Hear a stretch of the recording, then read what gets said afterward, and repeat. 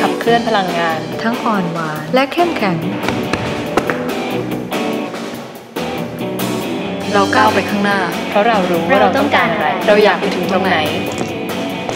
ถ้าเราหยุดไม่ได้แปลว่าเราถอย แต่เราหยุดเพื่อที่จะก้าวไปใหม่ เราคาดไม่ถึง และเราทำได้